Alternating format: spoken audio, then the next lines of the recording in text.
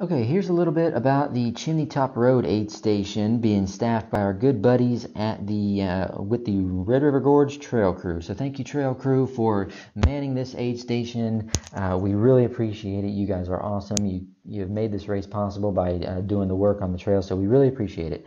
What we're looking at here is the Chimney Top Road aid station. So uh, let's describe my ugly drawing. Uh, what you're looking at over here, so this is Chimney Top Road, the gravel road that goes up and down this way, all the way out the Chimney Top Rock. Uh, so we've got the road here, and then you've got the entry to the parking lot, and then our parking lot is here. Uh, this and this are rough trail. So what the runners are going to be doing is everybody's going to be coming out of rough trail that way. So there's this big giant hill that they're going to be coming up. Um, the complexity with this aid station comes just like at Gray's Arch in that both distances are coming to this aid station. You're going to have 50K runners, you're going to have 22K runners. You're going to have 50K runners going one direction, 22K runners going the other direction. Let's start, start off by talking about 50K runners. So 50K runners are going to show up at Chimney Top Road, and it is mile 24 when they first show up. So they're going to come up this hill, they're going to be exhausted, and it's going to be mile 24 when they get there. Okay, so when they get there, I'm going to recommend putting your aid station right there. You're going to have a tent, you're going to have some tables. That's a good spot for your aid station. So put your aid station right there. Runners are going to come up, they're going to cross the parking lot, there you'll be. Uh, 50K runners will then proceed on down Rough Trail all the way out to Skybridge Road. When they get to Skybridge Road, they're going to turn around and then they're going to come back. And so you'll see them again. They're going to come to your aid station. The second time that they get here, it is going to be mile 27.6, call it 27 and a half. Um, so they're going to come back this way. They can hit the aid station again. Then they're going to go back down this hill, down that direction. So that's why it's a little complex. Let me draw this out uh, just to illustrate it. So they're going to come up the hill and to your aid station. You check them in, check them out. We'll talk about that here in a second. Then they're going to go on out Rough Trail. When they get out to the end of Rough Trail, they're going to come. They're going to turn around, so they're going to be coming back, and then they're going to come to your aid station again. Then they're going to go back that way. So it's going to be very complicated in that regard. Um, I'm going to talk about check-in and check-out. So every aid station is going to have a check sheet that looks something like this. In fact, chimney top, you're going to have two. You're going to have 50K and a 22K one. I'm kind of color coding them.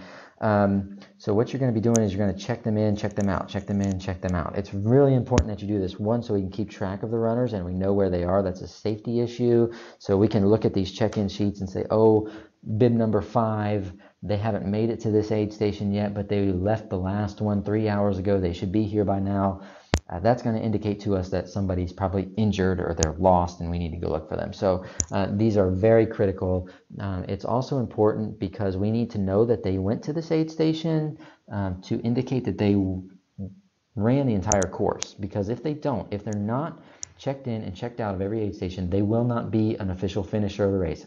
I don't care if they run the full 30 miles. If they didn't get checked in and checked out, then they're not a finisher. They don't get a finisher award. They don't get an official finish time, and they'll be marked down as a DNF. They did not finish.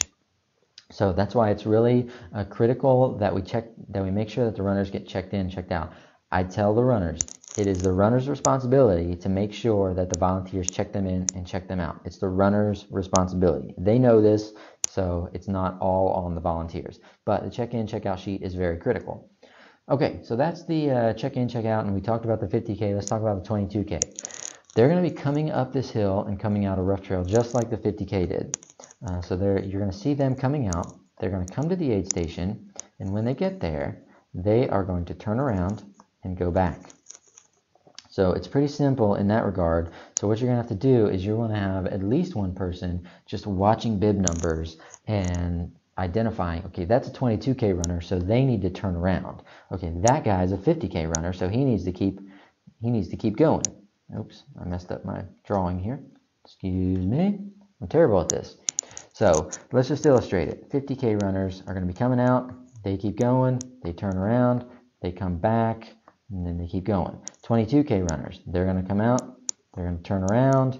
And they're going to keep going that way. So it's going to be pretty hectic. So the more people that you can have out here just watching, you know, you might have somebody out here who's just watching bib numbers as people come out and saying, okay, we got a 22K runner, we got a 50K runner.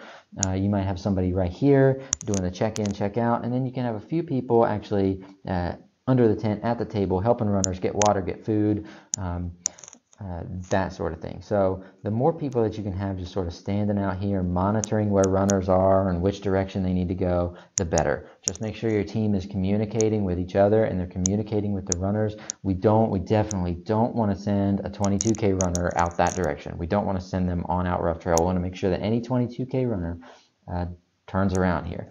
And likewise, we don't want to instruct a 50K runner who came out this way. We don't want to instruct a 50K runner to turn around unless they go out that way first, uh, because then they're not going to run the full 50K.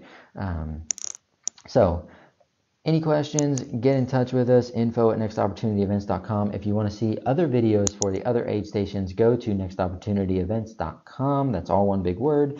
Nextopportunityevents.com. Click on the volunteer tab and click on the videos link on that page.